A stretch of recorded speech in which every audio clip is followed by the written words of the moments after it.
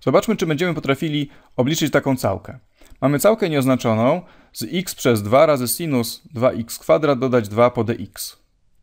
No jak zwykle zachęcam Cię do zatrzymania tworzenia filmu i podjęcia samodzielnej próby rozwiązania zadania, zanim zobaczysz moje rozwiązanie. Dobrze, a jak ja to zrobię? No zacznę od takiej obserwacji, że tu mam sinus. Czy ja znam funkcję pierwotną do sinusa? Owszem, znam. Łatwo jest scałkować sinus x, gdybyśmy mieli taką całkę do obliczenia, bo to będzie minus cosinus x plus dowolna stała. A skąd ja to wiem? No wiem stąd, że pochodna kosinusa, to co to jest? Pochodna kosinusa to jest minus sinus. To już każdy na pewno wie po nauczeniu się rachunku różniczkowego. A tutaj mam sinus, czyli ten minus muszę jakoś tutaj jeszcze uwzględnić. No to gdybym miał pochodną z minus kosinusa, to z minus kosinusa to by był plus sinus. Jak tu zmienię znak, to tu też mi się zmieni znak na przeciwny. Czyli pochodna minus kosinusa to jest sinus, czyli funkcja pierwotna do sinusa to jest minus kosinus x plus dowolna stała c. Mamy zawsze stałą całkowania. No dobrze, no to wiem już, jaka jest funkcja pierwotna do sinusa.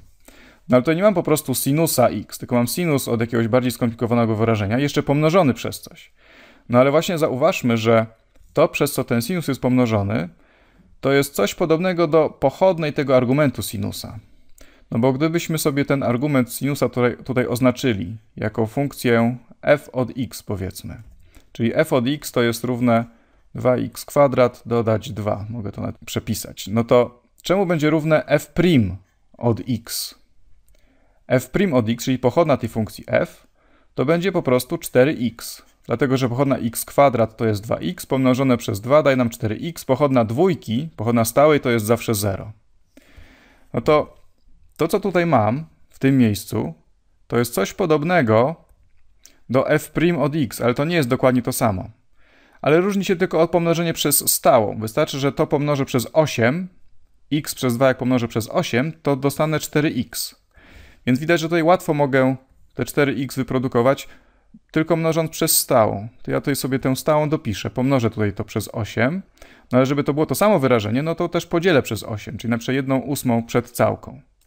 No i po takim prostym triku wyprodukuję sobie tutaj f', pochodną tego argumentu sinusa. Czyli mogę zapisać tę, zapisać tę całkę w takiej postaci. 1 ósma razy całka no tutaj 8x przez 2 to będzie właśnie 4x razy sinus 2x kwadrat dodać 2 po dx. No i tak jak mówiłem, to jest moje f', a to jest moje f.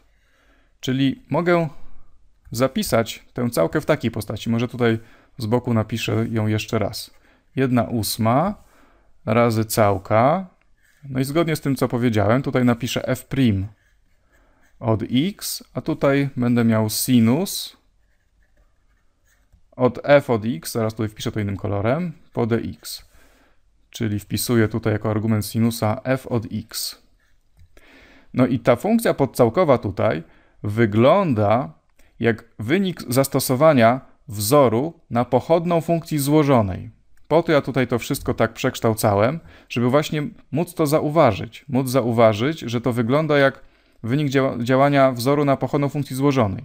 Przypominam, że wzór na pochodną funkcji złożonej mówi nam, że jak mam złożenie dwóch funkcji, g i f, g to jest ta funkcja zewnętrzna, f to jest wewnętrzna, to to jest g' w punkcie f od x razy f' od x. Czyli w tym wypadku to g' to jest po prostu sinus. Czyli musimy znaleźć funkcję pierwotną do sinusa. No a to ja wiem. Funkcja pierwotna do sinusa to jest minus cosinus, już, już to wcześniej napisałem. Czyli mogę po prostu wykonać tę całkę i napisać, że to jest 1 ósma razy funkcja pierwotna do sinusa, czyli minus cosinus plus dowolna stała c, a cosinus od czego? No cosinus od f od x oczywiście. No bo jeżeli teraz będę wykonywał różniczkowanie tej funkcji, no to mam funkcję złożoną. Pochodna minus kosinusa, tu jest to napisane, to jest sinus. Sinus od tego samego argumentu, czyli sinus od f od x, razy pochodna funkcji wewnętrznej, czyli razy f' od x. Wszystko się zgadza. Widać, że jak zauważymy, że to jest właśnie wynik działania wzoru na pochodną funkcji złożonej, to bardzo łatwo jest odgadnąć, jaka jest to funkcja pierwotna. Wystarczy znać funkcję pierwotną do tej funkcji zewnętrznej, czyli w tym wypadku do sinusa. No i mogę w takim razie napisać, jaki jest wynik tego mojego całkowania, no bo oczywiście to, co tu jest po prawej stronie, to jest w innych oznaczeniach napisana ta całka, którą mam po lewej stronie. Czyli jak teraz, tu już nie mam całki, już wykonałem całkowanie. Jak teraz przepiszę to, co tutaj mam, tylko już napiszę, co to jest f od x. f od x, no to tak jak było, to jest 2x kwadrat plus 2, dodać dowolna stała c, no to mam wynik całkowania.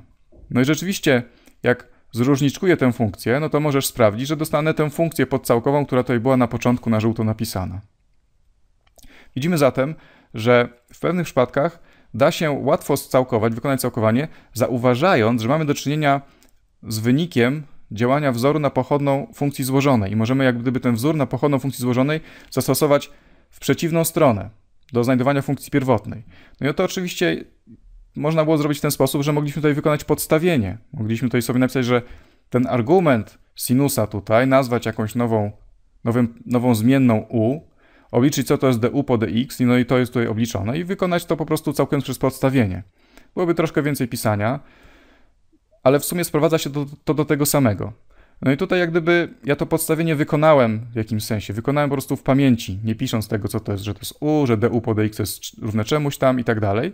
No bo w pewnych prostych sytuacjach, właśnie jak ta tutaj, którą przedstawiłem, to podstawienie można jak gdyby wykonać w pamięci. I zauważyć, że tutaj wystarczy skorzystać w odwrotną stronę ze wzoru na pochodną funkcji złożonej.